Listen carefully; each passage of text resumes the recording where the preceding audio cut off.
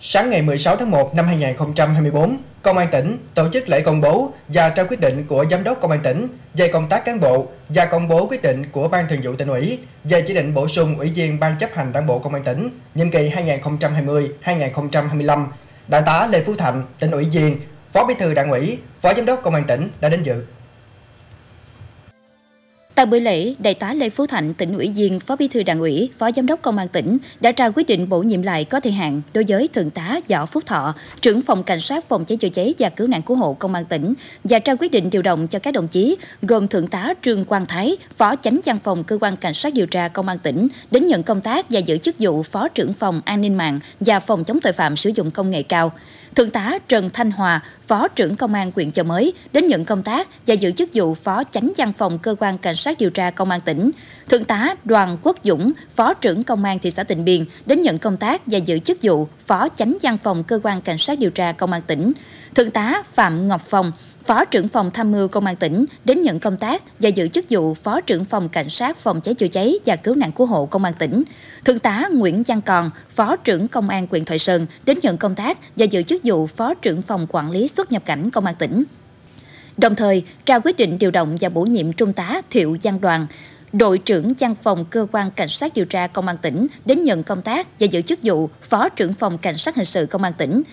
Trung tá lưu thị mai thảo đội trưởng phòng an ninh kinh tế công an tỉnh đến nhận công tác và giữ chức vụ phó trưởng phòng tham mưu công an tỉnh bổ nhiệm đồng chí trung tá phạm minh nhật, đội trưởng giữ chức vụ phó trưởng phòng an ninh nội địa công an tỉnh và bổ nhiệm đồng chí trung tá nguyễn phước thịnh, đội trưởng giữ chức vụ phó trưởng phòng kỹ thuật hình sự công an tỉnh. Ngày 16 tháng 1, Ban Thường vụ Hội Nông dân tỉnh An Giang tổ chức hội nghị triển khai phát động phong trào nông dân sản xuất kinh doanh giỏi và doanh nhân nông thôn năm 2024, đồng thời lấy ý kiến về kế hoạch tổ chức Đại hội tuyên dương nông dân sản xuất kinh doanh giỏi lần thứ 20, giai đoạn 2022-2024. Năm 2023, tỉnh An Giang có tổng số 85.323 cá nhân và 63 tập thể đạt danh hiệu nông dân sản xuất kinh doanh giỏi 3 cấp – trong đó, cá nhân có thu nhập thấp nhất là 150 triệu đồng một năm, cá nhân có doanh thu cao nhất trên 1 tỷ đồng một năm. Toàn tỉnh hiện có 1.086 nông dân là doanh nhân nông thôn. Năm 2024, Hội Nông dân tỉnh An Giang phát động trong toàn thể hội viên nông dân toàn tỉnh tích cực tham gia phong trào sản xuất kinh doanh giỏi với các nội dung để mạnh chuyển dịch cơ cấu cây trồng, vật nuôi, khai thác tiềm năng thế mạnh của địa phương, mạnh dạng đầu tư, ứng dụng tiến bộ khoa học kỹ thuật, công nghệ mới vào sản xuất, tích cực tham gia hình thành các mô hình liên kết sản xuất lớn, các tổ hợp tác, hợp tác xã, chi tổ hội nông dân nghề nghiệp, sản xuất kinh doanh theo chuỗi, chế biến bảo quản nông sản, tập trung nguồn lực hỗ trợ cho nông dân phát triển nông nghiệp toàn diện, đẩy mạnh đào tạo nghề cho lao động nông thôn, ứng dụng khoa học công nghệ vào sản xuất. Tại hội nghị, Hội Nông dân tỉnh An Giang cũng quán triệt kế hoạch tổ chức Đại hội tuyên dương nông dân sản xuất kinh doanh giỏi lần thứ 20 giai đoạn 2022-2024 với việc thông qua quy định, tiêu chuẩn, thành phần, hình thức và số lượng đại biểu tham dự đại hội các cấp. Dự kiến, Đại hội Hội tuyên dương nông dân sản xuất kinh doanh giỏi cấp xã sẽ hoàn thành trong tháng 6 năm 2024, cấp huyện hoàn thành trong tháng 9 năm 2024 và cấp tỉnh hoàn thành trong tháng 10 năm 2024. Thưa quý vị và các bạn, năm 2023, ở nhiều tỉnh thành phố trong cả nước đã xảy ra nhiều vụ cháy nổ lớn gây thiệt hại không nhỏ đến tính mạng và tài sản của người dân. Trong năm 2023, được sự quan tâm lãnh đạo, chỉ đạo của tỉnh ủy, ủy ban nhân dân tỉnh, sự nỗ lực của các cấp các ngành, các tổ chức chính trị xã hội, công tác phòng cháy chữa cháy và cứu nạn cứu hộ đã được nhiều hiệu lực, hiệu quả quản lý nhà nước và công tác thanh tra kiểm tra việc chấp hành pháp luật về phòng cháy chữa cháy được tăng cường, lực lượng cảnh sát phòng cháy chữa cháy từng bước được kiện toàn. Năm 2024, lực lượng cảnh sát phòng cháy chữa cháy cứu nạn cứu hộ tiếp tục tổ chức thực hiện tốt công tác phòng cháy chữa cháy và cứu nạn cứu hộ trên địa bàn, góp phần phục vụ sự phát triển kinh tế xã hội tại địa phương.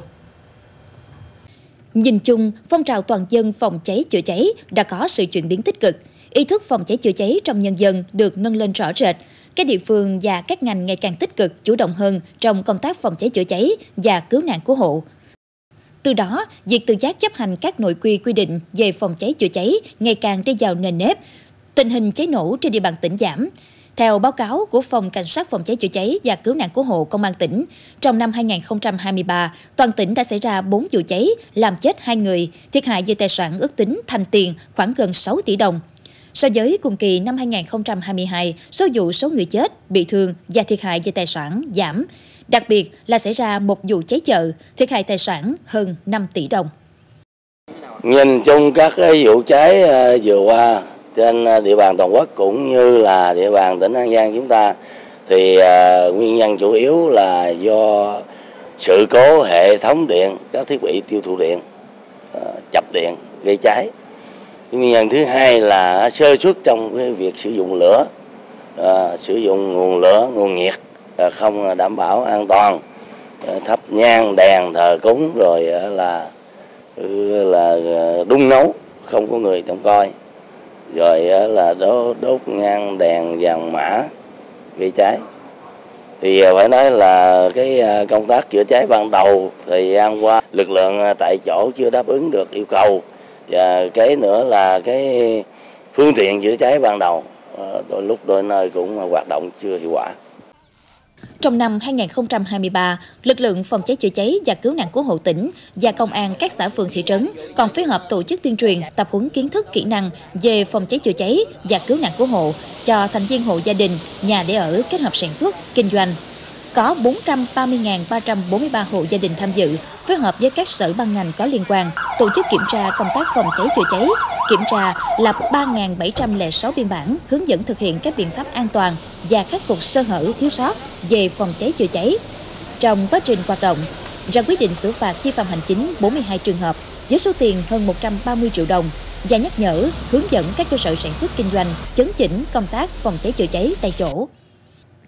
Đáng chú ý, trong năm 2023 đã xây dựng được 804 mô hình tổ liên gia an toàn phòng cháy chữa cháy và 167 điểm chữa cháy công cộng. Qua đó đã góp phần bảo đảm an toàn phòng cháy chữa cháy trên địa bàn tỉnh, phục vụ phát triển kinh tế xã hội của địa phương.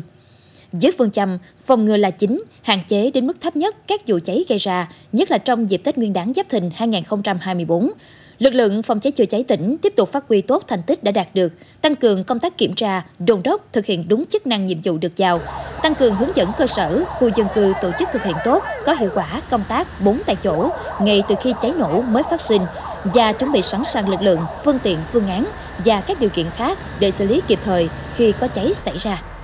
Ờ, hệ thống ờ, dây dẫn điện, ờ, câu móc điện bừa bãi rồi là sử dụng lâu năm không có thay thế cho nên là cái ờ, vỏ cách điện ờ, nó bị cũ bị ải mục ờ, dẫn đến là chạm chập điện xảy ra cháy